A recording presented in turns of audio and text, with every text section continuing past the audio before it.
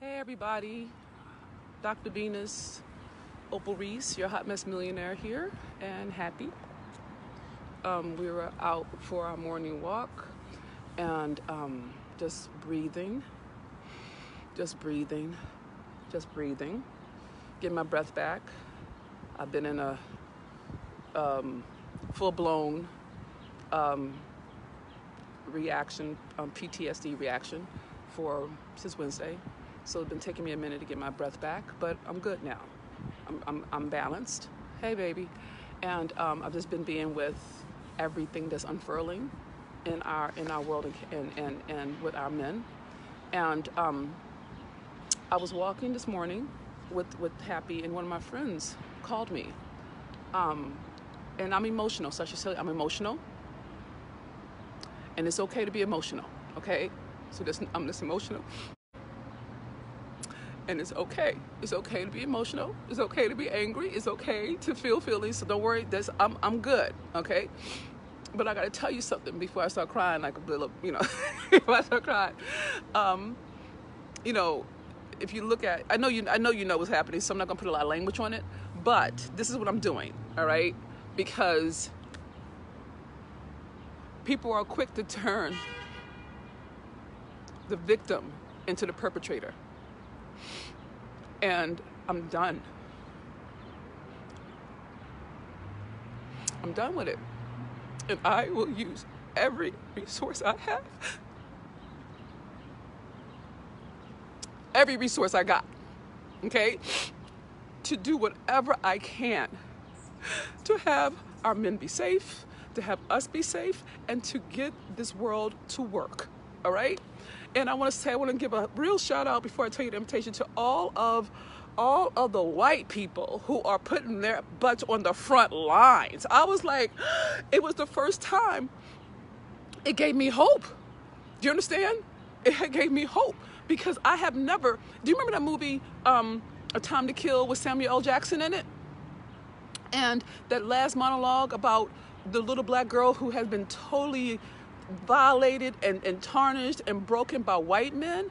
And he said, Now imagine if she was white, I couldn't do it. My brain couldn't do it because I could not see a white baby girl being treated like how they treat black baby girls. So I didn't say anything. I couldn't deal with it. But then when I saw the, not only the peaceful protest, but I saw all the white women in a line protecting us. You know what I'm saying? And and then the, the, there's a white woman who this, this cop pushed a bike into a black woman. This white woman leaped across, like, and then then then to see the commentators and even some of my peers, you know, and then there's you know, and I want to say thank you to some of my peers.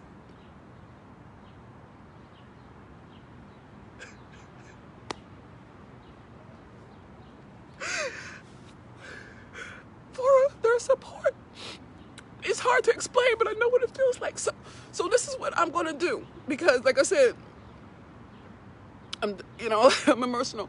But this is what I'm gonna do. Tomorrow at 5 p.m., I'm not promoting shit. I'm not promoting any of my. What I want to do tomorrow is I want to create a safe space for black men just to speak and say what it's like for them and let us hear it. And um, I'm going to do it with my girl. Her name is Courtney Stewart. We're going to do it tomorrow at 5 p.m. Central Standard Time. You can go by. It's this way. The camera's this way. But, okay, no problem. Thank you, sir. And so what I'm going to do is do my Facebook Live on Monday, tomorrow at 5 p.m. Pacific Standard Time. But it's an invitation to black men. And ladies, you can come. Please come and bear witness. Come and hear them give them a safe place to express so it doesn't have to erupt. Do you know what I'm saying? And so I just want to put that I want to put that out. If you know some black men, invite them. I'm, I'm not going to do it on my Hot Mess Millionaire link. I'm going to do it here on this um, on my um, fan page, um, so they don't have to go through all the you know all the stuff to get there. Come on, baby. Come on. They just told us we have to leave. Come on. It's okay. And so um, so that was it. But um, if if you say you for me, actually, I can see why Malcolm X is so extreme. Like either you're for me or against me. I get that shit. You know what I'm saying? In ways that are so real. And for the for all the white people and people and people of color who are not black people happy. Come on, baby, we have to go. Thank you. Thank you. My, I can't all I, I can't even help you understand what it means. You, you you know this is historical. This is not just one body. This is not just one knee on somebody's neck and watching him die for eight minutes and 42 seconds. That's not you know what I'm saying. It's bigger than that.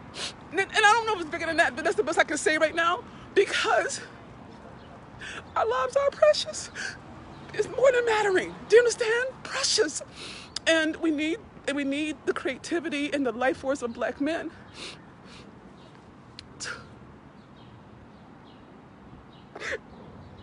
We need them alive. And I'm not saying black women aren't getting hurt. I want y'all to be clear. I know there's a black baby girl who got dead a couple of days ago, and I apologize to her family and everybody about that because I know this not getting as much visibility as George Floyd. But this is the thing watching the police stand there and let him die and them not do anything. And we get to see a public execution that's no different than a public fucking lynching in, this, in the 1900s or the 1800s. You see what I'm saying? So, this historically, this hits me in ways that I can't even, I'm not even gonna try the language, but what I can do is I can use my platform I can use my platform to help. So that's what we're gonna do. So tomorrow we're gonna not do shit. Fuck. We're not gonna do. Hold on a second. I'm not. I'm not promoting anything. I'm gonna um, use my platform in service. In service, in service of us, you know, and um, and it's for black men. So please have black men know where to come tomorrow at 5 p.m. Pacific Standard Time. I'm gonna um, sh- share this link, share this link, because otherwise they won't even know. Do you know what I'm saying? They won't know that we want to hear them and we want to support.